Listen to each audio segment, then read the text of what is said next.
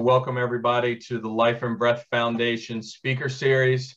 Uh, we're happy uh, to have uh, been able to share the uh, information, expertise, and provide some dialogue from some of the more prominent individuals in healthcare surrounding the sarcoidosis and the research of sarcoidosis, the management of sarcoidosis, and the things that affect uh, sarcoidosis. Uh, my name is Sean Hall. I am the president and founder of the Life and Breath Foundation. Uh, we were we've been established since 1998. Um, I started the foundation in memory of my mother, Ida Hall, who uh, tragically passed away with the disease at age 59. Um, the family members, myself, did not know she had it. Um, the understanding is she probably struggled for 13 years by herself. Uh, we're located here in the Baltimore, uh, Maryland area. And so we were fortunate to have Johns Hopkins um, here in the, uh, in the community, uh, taking care of folks, not only locally, but internationally. So I went over to Johns Hopkins and uh, visited with um, some doctors at the sarcoidosis clinic, Dr. Dave Moller, uh, to just find out a little bit more about the disease, to find out how I could help uh, and try to understand, you know, why this disease took my mother. She had it in, in, in, in, her lungs and suffered from the pulmonary effects of what sarcoidosis brought. So, um, hearing, um, knowing that I wanted to do something in her memory, I uh, established the foundation, as I said.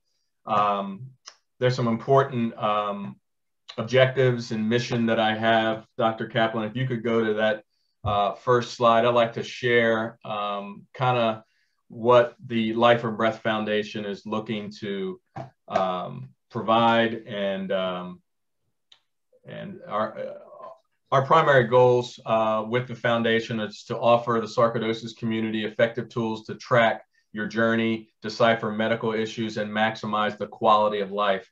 You know, there's a lot of misdiagnosis that occurs. We want to make sure that we build a bridge um, that you can understand exactly what you have, understand what some of the things alternative wise you should consider and give you the tools to be able to do that. A lot of those tools are found on our website uh, that we invite you to come take a look at. It's also important for us to provide a nurturing environment so that those that are affected by sarcoidosis can share their experiences. This is the environment. This is uh, one of the things that we try to do to be able to bridge the gap to help you understand that you are not by yourself uh, you're not struggling by yourself. Your family's being supportive, but you have another family in the foundation that is able to reach out not only regionally, uh, but across the United States and, um, and internationally also. Uh, we want to be there for you to provide this experience so that you can understand that there's other people that are affected, there's other people that you can learn from, and we want to make sure you have that bond set up. And the last of which is to build more of awareness within the medical community to help combat this chronic disease. We think there's an educational component that not only exists with the patients, but with some of the doctors, with some of the practicing doctors, and some of the doctors that are coming into uh, become doctors, so that we can help them understand that you know this disease affects different organs, and uh, just to be aware as you are interacting with uh, our patients. So, uh, without further ado, I wanted to introduce our guest speaker this evening. We're proud to have Dr. Adam Kaplin who is a adjunct uh, member of the faculty at the Johns Hopkins University School of Medicine. Uh, Dr. Kaplin, welcome. Uh, could you give us a little bit of an introduction and tell us a little bit more about your career and what brings you here today?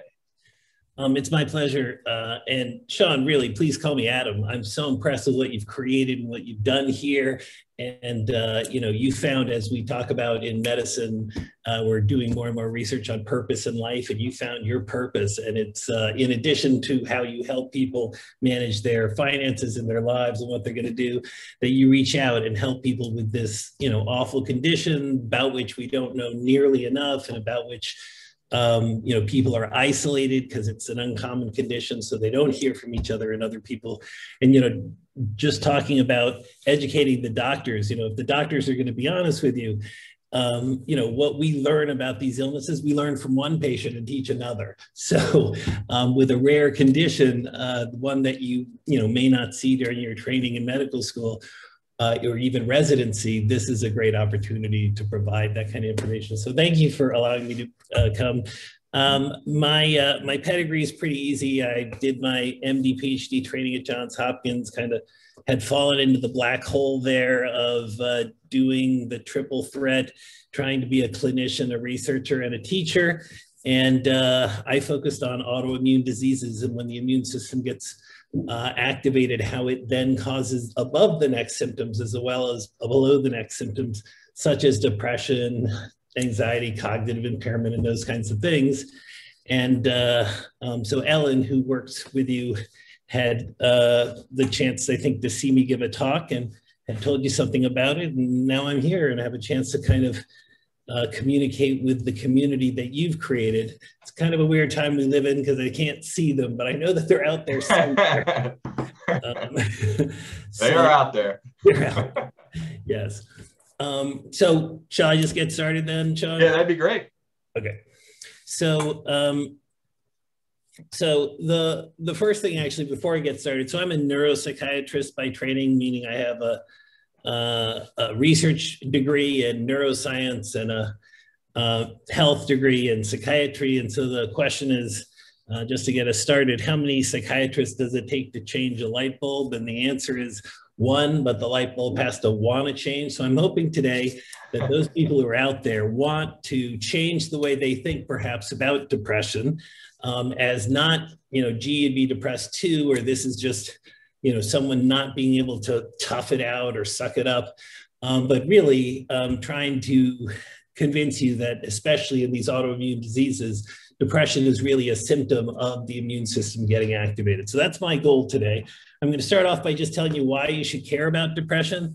So it turns out um, depression is uh, involved in 90% of the suicides that happen. Um, and right now, suicide is the um, second leading cause of death for our young people in this country between the age of 10 and 34.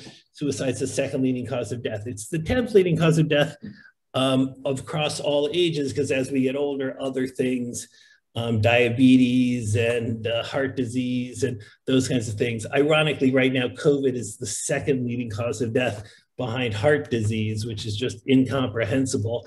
Um, but we'll sort of talk about that so um, the problem is that the rates have been going up. In fact, they've been going up on average um, uh, about you know 20 to 30 percent, and you can see that in some places in our country um, they've been going up even higher. Um, and uh, so um, and that's again we're not only not winning the battle, we're losing the battle a bit here. This shows you something interesting, which uh, isn't well discussed we're really good at looking at risk factors, not protective factors. So it turns out white men uh, have had, you know, have the highest rate of suicide. Um, and this is over the past few years, the rates have been going up. Um, also for um, African American, uh, I'm just trying to make sure African American men, it's been staying about the same. Uh, all things change with COVID, by the way. So this is pre-COVID. But one thing that has been the case is that African American women, for some reason, they just hug the line here. Um, they are least likely to commit suicide of any group of people in, you know, in our country, be it people who have, uh, you know, religious affiliations and like. So something about African American women that we have not well studied or appreciated um, is is a correlate of people who just don't kill themselves.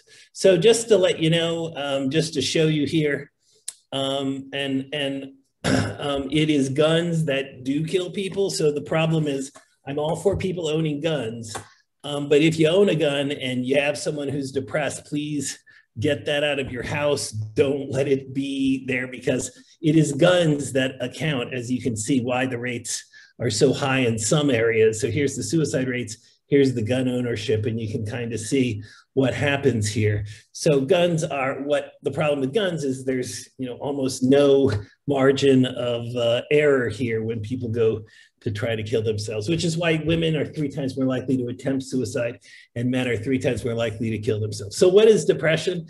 Well, this is the criteria that we use according to the Diagnostic and Statistical Manual, DSM 5 now, which is you have to have five of these nine symptoms. We remember them as SIG EM CAPS. Believe it or not, that actually means something to a doctor. SIG is how you tell someone to take their medicine. So take one tablet by mouth twice a day.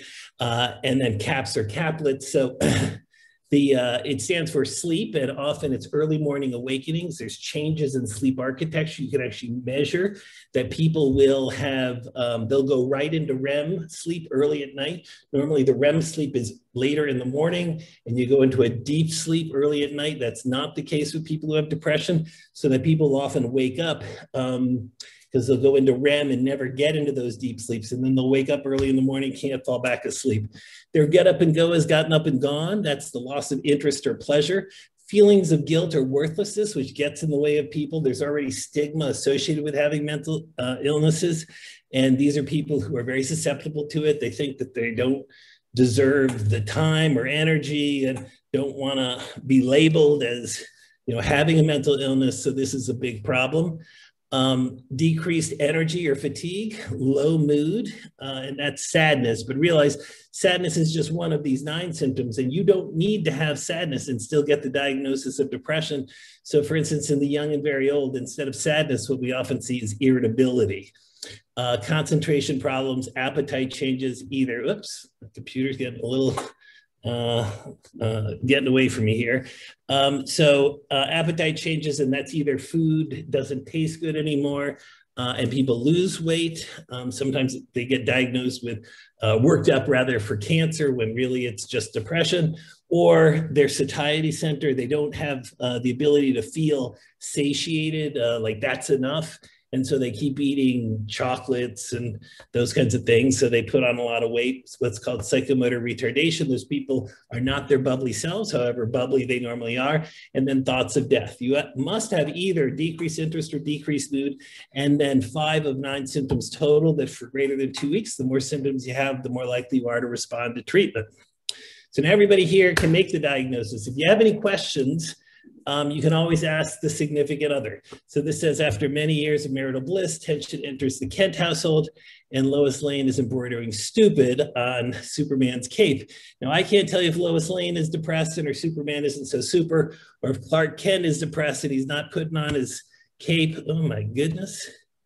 Uh, and going out and saving people. But what I can tell you is that, like it or not, um, the people who live with people who have depression are getting the real deal. So we all have to invest a lot of energy when we go out into the world. People say, "Hey, how you doing, Adam?" They don't want me to say, oh, "I'm having a really hard time, had a bad weekend. Can we sit and talk about it?" They want me to say, "Fine, everything's good. How about yourself?"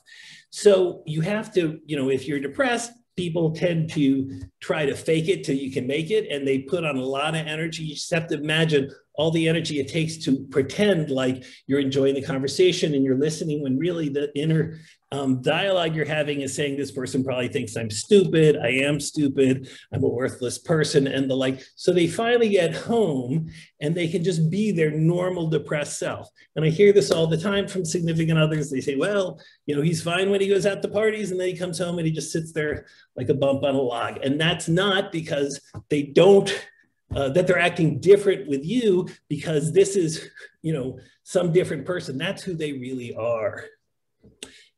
So, are you getting enough oxygen? So, speaking of significant others, uh, caregivers often um, don't realize that there's a bit of survivor's guilt that come to everybody, uh, just about everybody I've seen, just about who has a loved one who gets an illness like sarcoidosis. Um, there's a bit of a survivor's guilt. And so it often is I can't go out to the movies because my loved one, uh, you know, has a hard time getting around or, you know, is breathless or whatever the limitation is. Um, so I'm just going to stay at home uh, and just be with that person 100% of the time. And the problem with that is it's like if the oxygen mask dropped down, are you going to put them on first yourself or your loved one? And the answer is you got to put it on yourself first because the air gets sucked out of that airplane. You have 20 seconds, 30 seconds before you pass out and the other person passes out while you're trying to get the mask on them. If you put the mask on yourself first, you can fight with them for, you know, however long you want to fight with them or give them 30 seconds, they'll be sleeping beside you. You just put the mask on, everybody makes it. So the point I'm just trying to make is that you have to get out of the house at least once a week. And that's not for yourself, that's for your loved one. And those people who have sarcoidosis, please push your loved one out at least once a week so they can recharge their engines, go out and be with friends or see, you know, go hiking or whatever it is they need to do so that they recharge their engines and they're there for you when they need to be.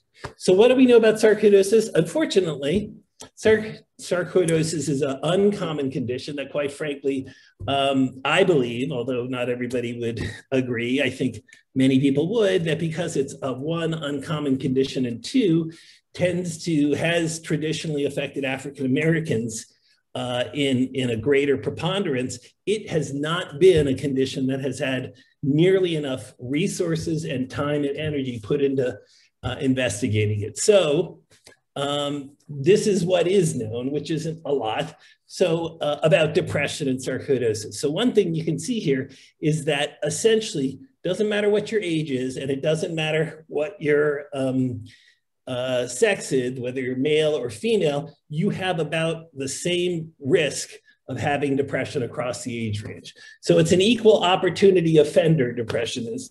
It uh, is very democratic in that sense. Age and gender don't matter. Um, and that's different because in our uh, general population, women are twice as likely to have depression as are men. So this is already telling you that this is a biology going on here. This isn't just some other phenomenon.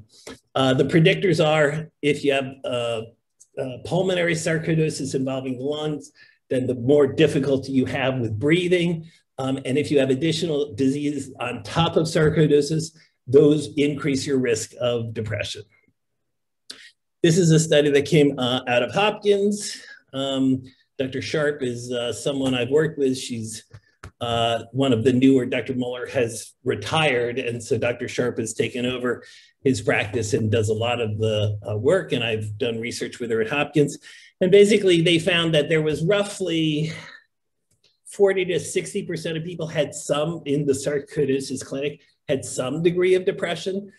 But, um, but what was interesting is that if you looked at hospitalizations in the past year, there was no difference between the severity. This is increasing severity of depression. But the higher your depression, the more likely you were to uh, go to the emergency room. And the presumption is that, um, you know, people who are depressed, they tend to not take as good care of themselves. They smoke even if they have, you know, pulmonary symptoms and stuff, and they don't exercise. And um, they also think, you know, when something happens, it's like the sky's falling and uh, and the like. So that's just something to keep in mind. So um, there are lots of causes, anything that affects the brain, either directly through a stroke, uh, this is cerebrovascular accident, Parkinson's disease, Alzheimer's disease, MS that I spent most of my time studying at Hopkins uh, is the Michael Phelps. It has 50% um, on average uh, um, chance of getting a clinical depression. But sarcoidosis is really, you know, hanging up there too. It's not far off from MS. Oh my goodness. And, uh, and so it really is just like these other conditions that affect the brain. It has high rates of depression. What do we know about MS? Well, MS is you know much more common. It's been around, uh, well researched. MS is more like one in 500 people, one in 300 women, one in maybe five, 600 men, um, kind of, uh, now we understand it's probably, you know, the rate of ADHD, I mean, uh, in, in some people. So in any case, uh, we know that depression correlates with quality of life for people with MS. It also, depression is the number one correlate of quality of life for their family. We know it has significant morbidity, meaning it affects people's function and mortality. Suicide is seven times more common in people with MS and 10% of people with MS will actually attempt suicide, 30% will have thoughts of it. So it is a lethal part of the illness. MS causes depression. We know that it's due to overactivation of the immune system. If you block the immune system, you actually have antidepressant effects because it's the immune system and uh, all of the inflammation that goes on that causes it. It's not due to weakness or a personality flaw. Um, it doesn't correlate with disability or gender. It's not, gee, you'd be depressed too if you were in a wheelchair because it doesn't matter uh, if you're upright and walking or in a wheelchair, it matters how much inflammation is going on. Depression also worsens MS. Um, so MS causes the depression, but the depression makes the immune system more uh, out of control. And in fact, treating the depression improves the MS. So it's a two-way street. Um, and the other thing to keep in mind, um, and this is again, probably applies much of this to sarcoidosis, just that we've studied MS more because it's one of the more common uh, autoimmune diseases. So depression is treatable in MS and you can restore people back 100% to their old selves if you give them the proper treatment. Talk therapy and antidepressants are often needed. So this just shows um, that one of the things about depression, why is it that depression worsens MS? Well, it turns out the thing about depression that we know is people with depression have elevated cortisol levels. And people say, oh, well, cortisol is the stress hormone. Um, I don't think of cortisol as the stress hormone because nobody goes to the pharmacy and says, I need some prednisone because I'm stressed.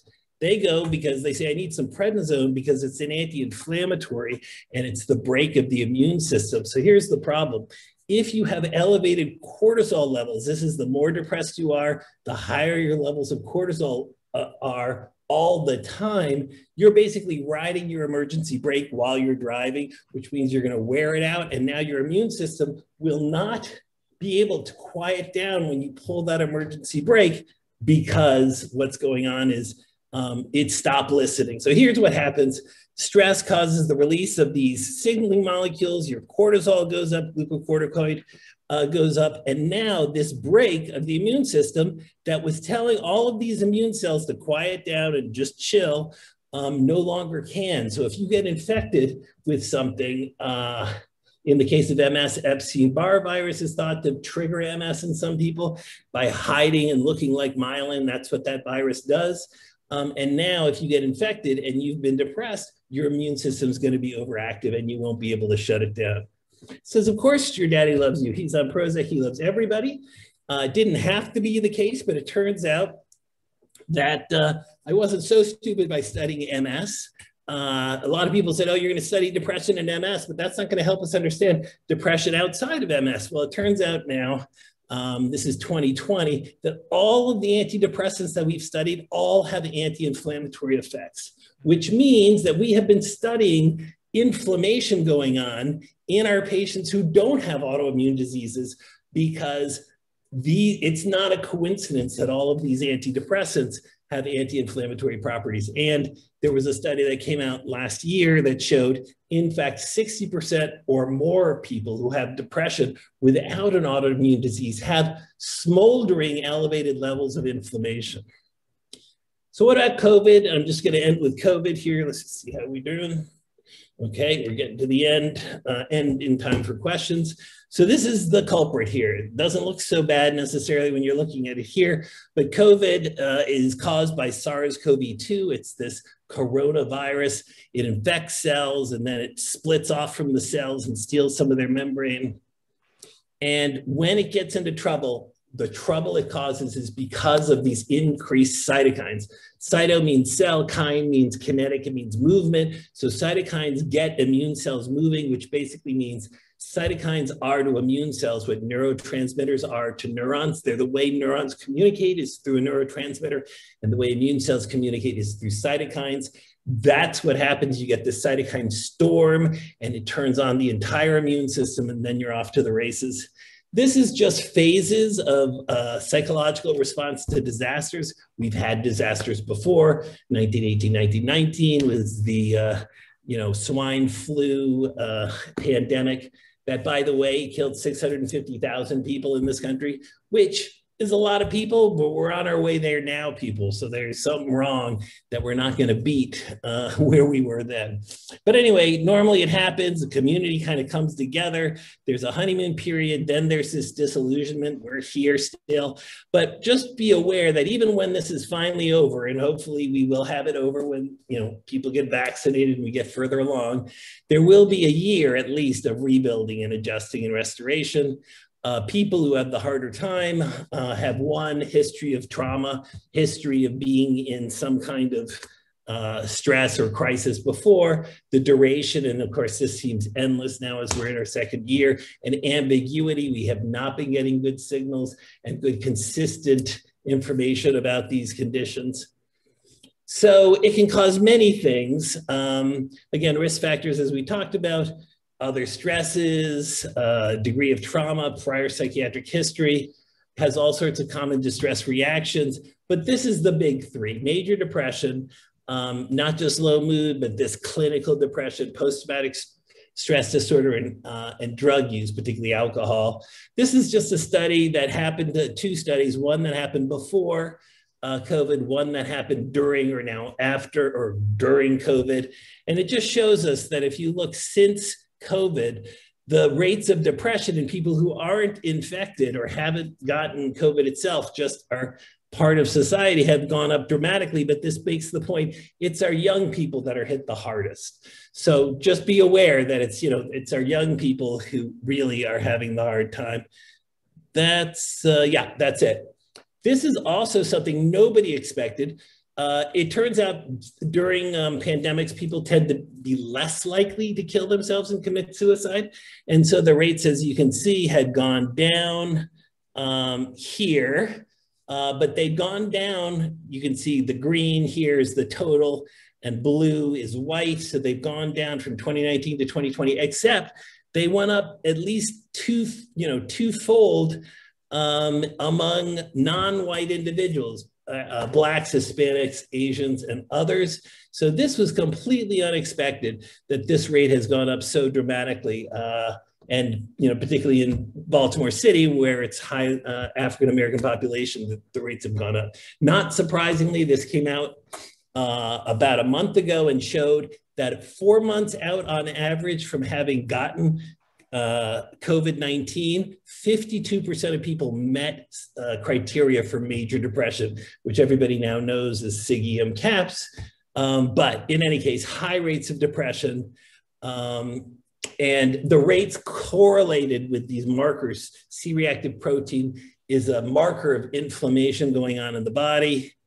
And um, it turns out antidepressants, I told you, had anti-inflammatory properties. This was an interesting study that used fluvoxamine and SSRI not for depression, but for people with COVID, and showed that they were much less likely to do bad, badly from having COVID. So zero of 80 patients got worse and had clinical deterioration if they were on this SSRI compared to six of 72 patients in the placebo group. So if you look now, one of the recommendations is to treat people with fluvoxamine because it appears that this is one of the anti-inflammatories.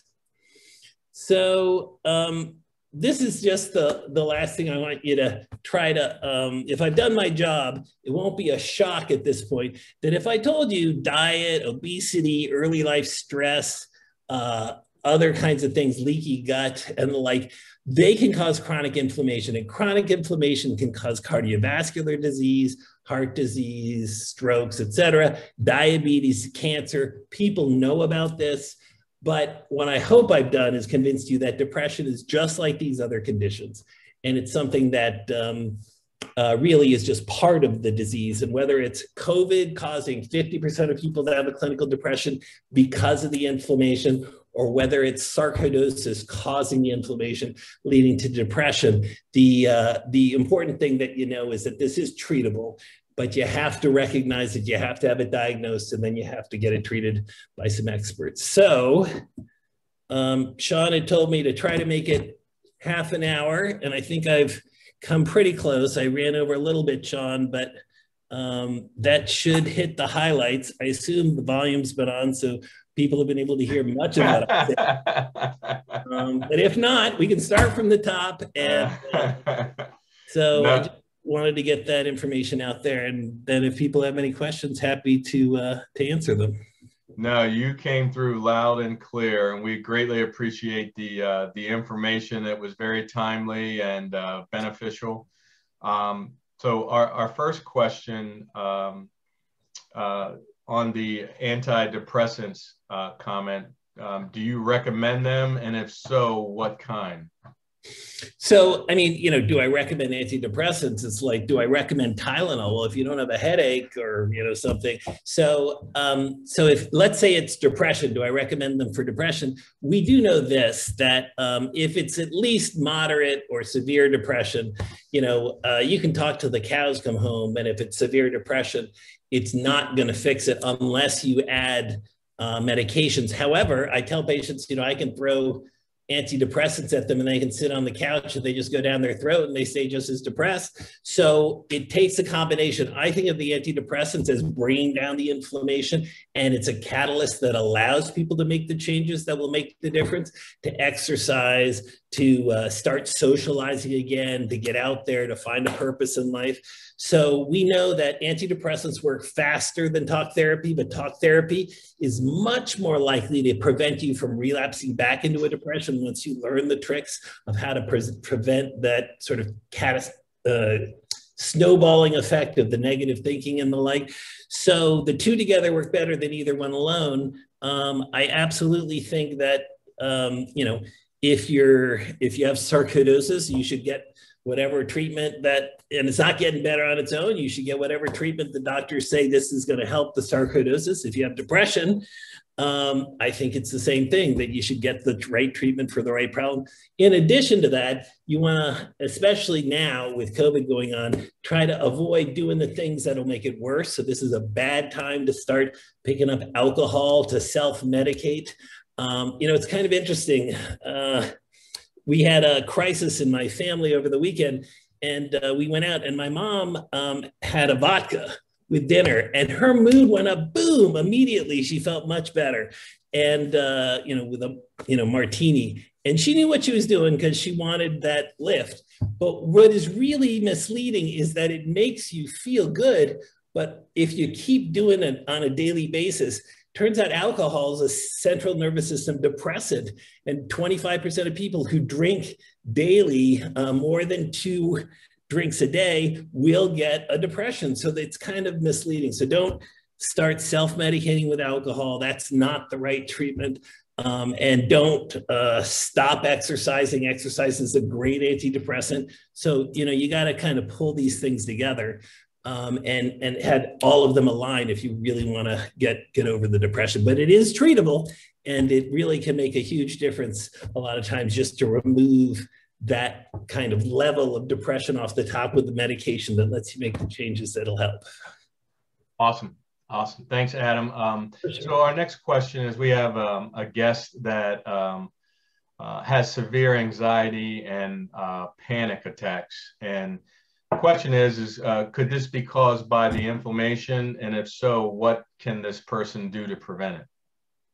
So again, great question. Um, one thing I'll tell you right off the bat is as much as we know about depression, and I'm trying to get the word out about depression, we know much less about anxiety. Anxiety has been studied much less than depression has. So um, and depression hasn't been studied enough, and sarcoidosis is even less so. So, um, having said all of that, it uh, uh, you can there there are first of all two kinds of anxiety. The way I think about it uh, right from the first cut. The first type of anxiety is the kind that you weren't anxious before, and then you got depressed, and the anxiety came with the depression. And as your mood gets better, the anxiety goes down. And it looks like that as your anxiety goes up, your mood goes down, but it, you know, it's a chicken and egg thing. So, but it keeps company with your mood. That's the kind of anxiety that is just another symptom of depression. It's not on the SIGECAPS, but lots of people get OCD or general anxiety just when their depression gets worse. And that's, you got to treat the depression. Luckily, the same medications we use for depression, like the SSRIs, all have indications for panic attacks. Uh, you know, Zoloft is good for depression and panic attacks, and um, Paxil is good for PTSD. I mean, they all have these overlap kind of things. But then there's the other kind of anxiety, which is always there. It doesn't matter how your mood is, and uh, and people are anxious. So there are some uh, things, uh, general general things about anxiety. The first thing is exercise is great because that it's a good way to burn off the anxiety. Sleep is really important, and exercise can help with sleep. Um, same thing, don't self medicate with alcohol and that kind of stuff, things that'll make it worse. Um, one thing I can tell you that gets overused is these benzodiazepines, um, Valium and Librium and all of these things. Um, different people have different philosophies. They're addicting um, and, uh, and they prevent cognitive behavioral therapy working. But the one thing I can tell you is if you're right now taking Xanax once a day to go to sleep, that's a bad thing to be on because Xanax uh, is a benzodiazepine that only lasts about six hours in your system. So if you're just taking it at night, come noon the next day, you start withdrawing, and come the evening, you're in benzo withdrawal. So you've that Xanax feels really good when you take it because you're withdrawing from Xanax. So you got to be careful. There are medicines that can make it worse, uh, which reminds me, by the way, that um, steroids can make depression worse and they can make anxiety worse. So it's something to be aware of that in addition to the sarcoidosis, some of the medications we use can cause these kinds of symptoms. But, you know, that's a big topic, anxiety, and um, cognitive behavioral therapy is really good for a lot of these uh, panic attacks as well. Learning that panic attacks is really a drowning reflex and learning how to control your breathing uh, to get through it, these kinds of things. But that's a whole different lecture and discussion that I just don't have time to go through now. Very interesting. Um, Adam, thanks for that. Uh, we have a related question regarding um, depression and anxiety. Uh, so one of our attendees said uh, their doctor thinks depression, her, the, the doctor thinks the depression and anxiety is just because um, you know the, the patient is worried about sarcoidosis. Um, how, do, how does this person explain to the doctor this may be related to sarcoidosis?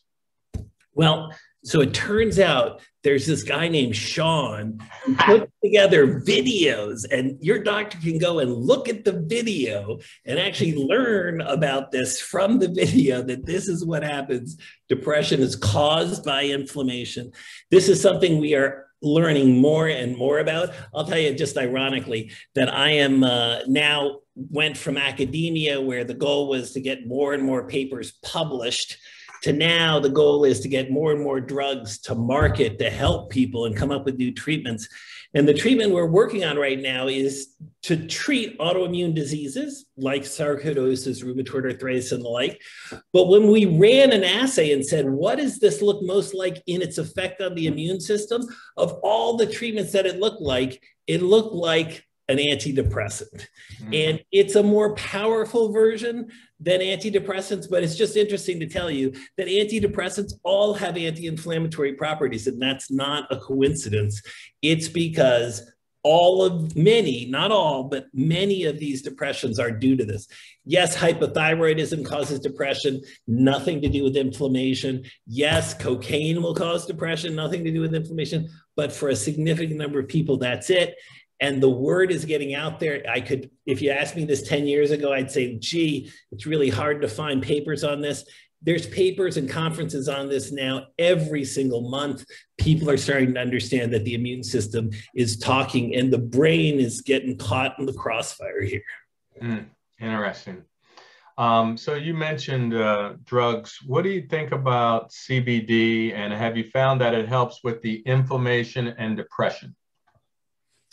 So, um, great question. So, first of all, we have not been able to do studies on uh, THC or cannabis or any of these things because that goes way back to reasons. Uh, I actually, um, uh, I have had the privilege of working with Montel Williams, who has MS, and and Montel has been a big proponent of, hey, this you know is not an evil drug. This is something we need to investigate more.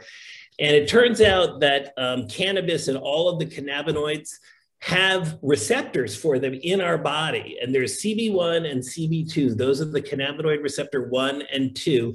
And whether it's THC or CBD, there are receptors for these. But what's interesting is CB2 is where can, uh, cannabidiol, CBD, binds, and CB2 is on immune cells. And so it looks like in addition, CB2 is now approved in this country to treat epilepsy, particularly in young people in uncommon epilepsies. And I will tell you, we just have some research that was done at Hopkins that shows a souped up version of CBD that the company's uh, working on is very good at, at treating anxiety. But it, it is probably going to be the case, and I'm glad you asked about CBD, that CBD does have powerful anti inflammatory properties and anti anxiety properties. It's just, it's coming, but it's just taken so long. And I will tell you, when we try to even run in the lab, some examples of comparing THC to CBD. We can't even order THC to come.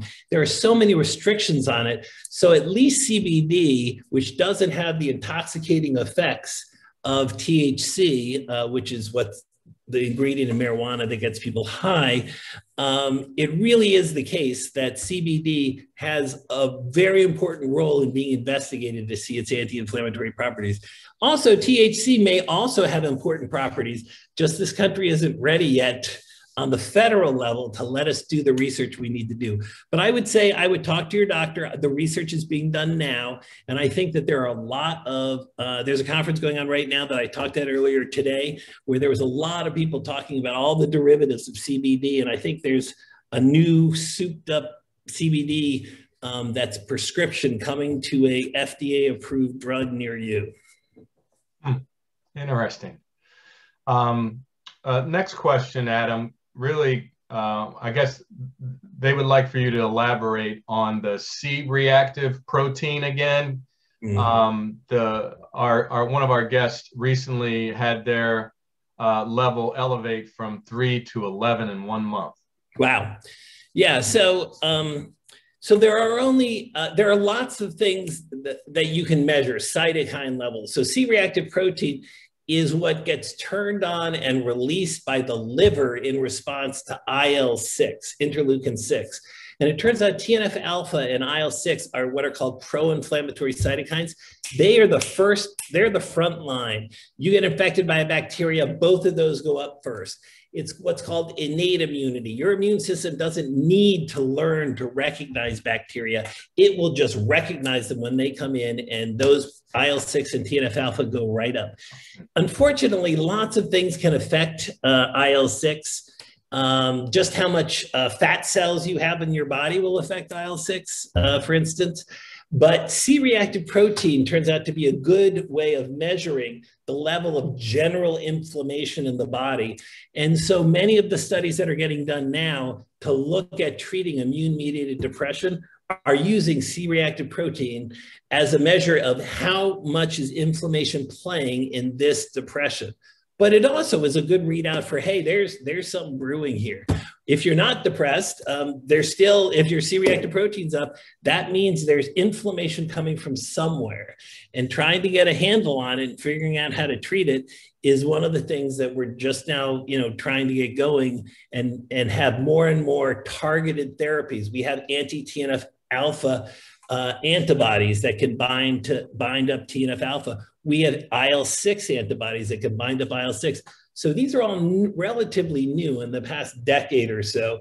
Um, they've come online. So we're getting better. We're not quite there yet, but that if your C-reactive protein's going up, then sounds like again, I don't know your situation. I'm not trying to to do cocktail party sort of diagnosis, but I, I think your doctor would agree if it's going up, there's some inflammation happening, and trying to figure out what that is uh, seems like an important thing to do. Very enlightening. Thank you very much, uh, Adam. I I want to go back to uh, cannabis. So we have one of our um, one of our guests has a question, uh, and I'm going to mess up the pronunciation of this, but uh, their, their question was, can they take cannabis and fluoxetine? Fluoxetine? Yeah, that's fluoxetine or Prozac. Fluoxetine, yeah. Yeah, so fluoxetine has um, been around because since 1988, it's the first SSRI that came out, which means it was the first medication that was safe to use. You can't kill yourself. Now, don't try it out, by the way, but uh, basically, you take as much Prozac as you want, and it, uh, it's extremely difficult to, to cause yourself any significant injury because Prozac's such a safe drug. So it's been around a long time. Um, the uh, the drug drug interactions between THC, so I assume cannabis. They're talking about THC.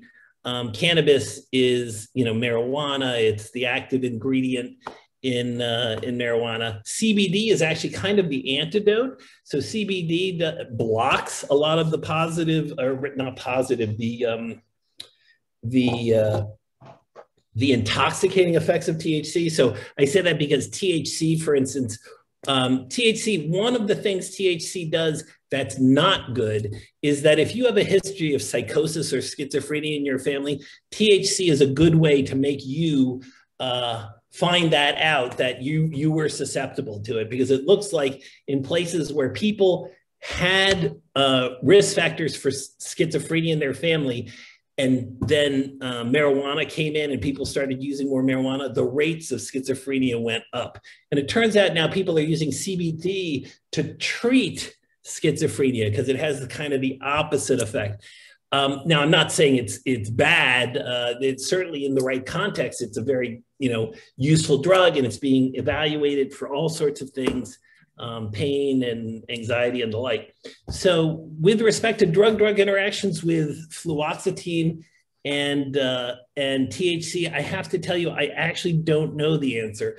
I can look into that and see if it is known. Again, because THC is a Schedule One drug. One means it's the hardest drug. You can't write a prescription for it. Uh, you know, where it's been legalized, you can write a card for a dispensary, dispensary, but you cannot write a prescription. The FDA has not made it legal. Um, and so it's very hard to do research on it. I'm not aware of drug-drug interactions between THC and fluoxetine, but I can look into that uh, and see if that is known. I don't know the answer, but I don't know that it's been looked at or not. So if you and Ellen want to follow up with me, I can try to find that out. Okay, we'll do. I think that would be great. Um, appreciate that. Um, how about um, what are your thoughts on therapy? Is there a specific type of therapist that patients should look for? Yeah. So, um, uh, so there's a couple of things. The first thing is that there's no question if you look at studies that have been done, what studies, you know, if you say, I want to know, has this been tried in research and do we have good data to support it and this kind of stuff?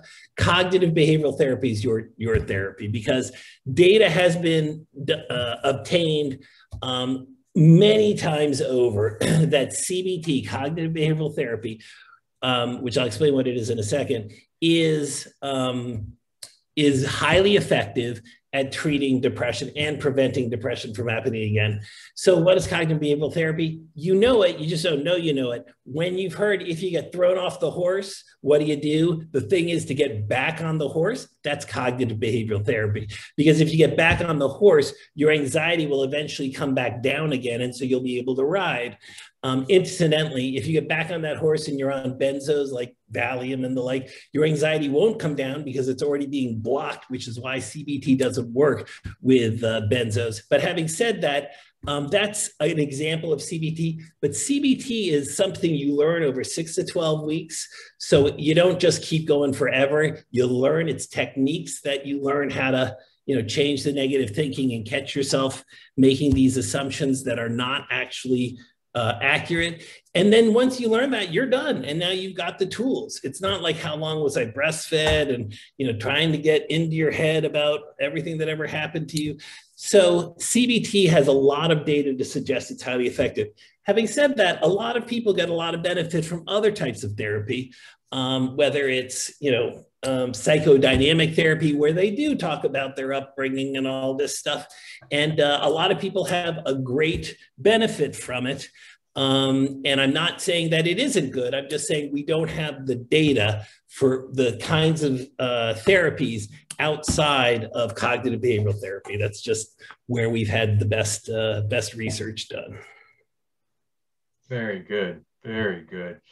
Um, so we have a um, maybe um, uh, a, question related to a patient who uh, is suffering with the symptoms of sarcoidosis. Uh, the family members uh, don't believe uh, that the patient is going uh, through the symptoms of sarcoidosis and depression.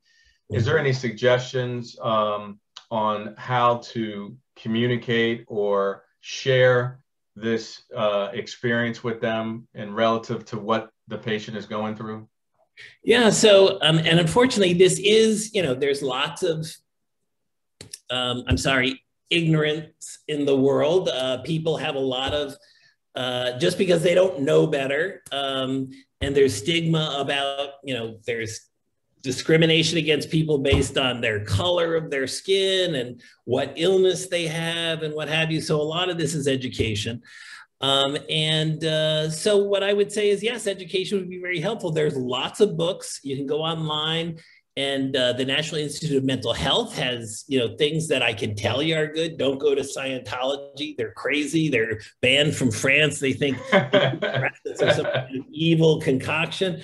But if you go to, you know, reputable places, you can get good information. And then what I'd say is, if you if you have a chance and they love you, then say, let's go to a support group. Let's go to um, you know, uh, one of these um, uh, national organizations for depression uh, or for mental health. Uh, and you can just look them up, they exist. Um, and just go to a support group and have them talk to other people who are the loved ones of people who have this. These may be invisible symptoms, but they're not um, symptoms that are uh, uh, um, lacking in the full weight and, and magnitude of what they do to people. It's just, um, I have patients who have depression and MS, and they say, gee, you know, Dr. Kaplin, I know it's terrible, but sometimes I wish I just dragged a leg or something because I don't get any sympathy. And it feels like I'm just living day to day in hell. And, uh, and so, you know, it is difficult um, when people don't see it.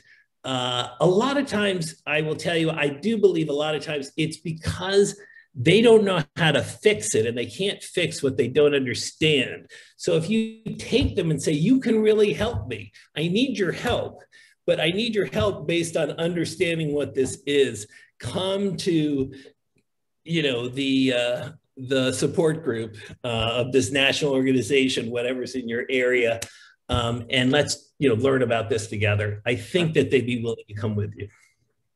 Very good. I think that's very good. That happens more than not, where family members are are just not aware. You know, the person looks fine.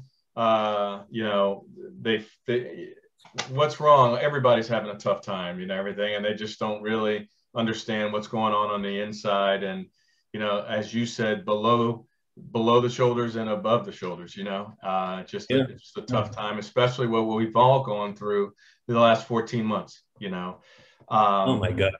Absolutely yeah. great, Sean. Yeah. Um, so um, I have somebody that has challenges with sleeping through the night, you know, just can't get the appropriate level of sleep. And it's because they're, they're worrying. They're worrying about, you know, uh, the factors of what they're going through. Any suggestions on, you know, how not to worry at night or how to be more relaxed? yeah, yeah, yeah. No, but the, actually, you're 100% right. And it's kind of funny you say that because it's like, you know, I'm, you know, try not to worry because worrying is bad for you. That only makes you more worried. So I, I understand how tough that is. But having said that, there, there are some absolute uh, things. One is, as I, you know, as we mentioned earlier, exercise is great for anxiety and it's great for sleep. So if you can try to find a way of getting exercise, ideally before the evening, because if you exercise right as you get into bed, you're not going to be able to sleep. The other thing is there's sleep hygiene, which is it teaches you what not to do, like you actually get conditioned to get into bed and not fall asleep, just start staring at the ceiling by doing it a lot. So, one thing that good sleep hygiene is about is you get into bed. If you can't fall asleep, then you get up and you get into a chair and you read until you're tired and then you get back into the bed. The bed's only there for sex and sleep. Don't use it to just stare at the ceiling like uh, Dracula on a day pass. You don't want to do that. You want to make sure that you're uh, only using it for sleep. There are if you put in sleep hygiene on, into Google, you'll get all of that list of all the things. The other thing is now there's all these apps that are about relaxation. So whether it's yoga or meditation or you know your favorite you know um, focus relaxation where you focus on your feet, you relax them, then your ankles and your calves, and you work your way up to your head. All of these things will help. And then the last thing is what people often don't realize again, um, all everything in moderation, including moderation. Um, drinking's fine, one or two drinks, uh, you know, on a weekend, great. But one glass of alcohol a day at any time of the day will mess your sleep up that night. So alcohol is a no-no if you're having trouble with sleep and you want to find a way to do it, as is tea and coffee and all those things. You know, you don't realize. My wife is uh, Brazilian, and there's this um, soda I love called Guaraná, and uh, she told me that it just has more caffeine than than you know than Red Bull in it. And I was like, oh my god, I can't have this at night. So uh, lots of things are stimulants that you may not know about. So, but if you try those things, you might be uh, surprised at how um, how much better your sleep will get. Um, you know, just once a day for 10 minutes doing a relaxation exercise can work wonders. Well, Adam, it's the it's the ultimate compliment.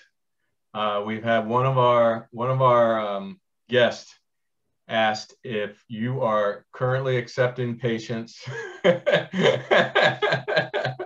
again, thank you so much for the compliment. What I can tell you, unfortunately, is because in December, um, I switched over to working for this drug company, and Hopkins just couldn't see their way uh, to letting me do that and stay at Hopkins because they had concerns about if I was working in a company and something happened, would it sully the name of Hopkins? I think that's why they did it. But um, so I'm now not at Hopkins. I'm in the process of trying to figure out where I could see patients and how I can do billing and all that stuff. So no, thank you for the kind, uh, kind, um, uh, uh, you know, uh, positive appraisal of what you think I could do. But trust me, there are lots of good psychiatrists out there um, and uh, and unfortunately, I'm just not in a position to take patients at this point. I hope to be in towards the end of this year once COVID's over and I can open an office somewhere. But thank you. I appreciate the, the kind words. Well, we hope to stay connected, Adam, uh, and, uh, and welcome you to the Life and Breath family. Uh, we try to provide a community um, that we can share and disseminate information and be able to help individuals attack each and every day uh, to make the next day, tomorrow, a better day than today. And uh, I think if we can take it one step at a time uh, and understand that there's other people out there that can be supportive, uh, that can give that lifeline of just listening sometimes, uh, that, that's going to help us through this anxiety period and uh, a possible stretch where we go through and some things aren't going as well as we would like them to. Um, in closing, is there anything based on the questions, based on the dialogue uh, that we've we've shared over the last hour? Is there anything from a takeaway that you could share uh, with with everybody that's still on the call?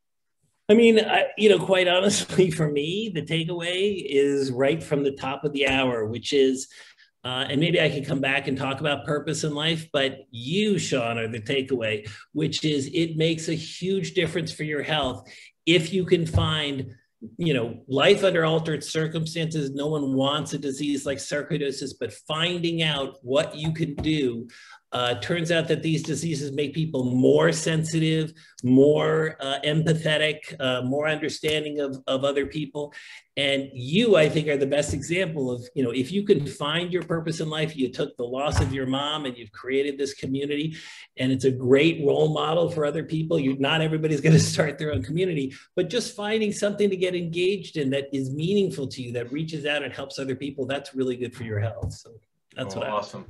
Um, Dr. Kaplin, we greatly appreciate your time, the information that you shared, and your partnership with the Life and Breath Foundation.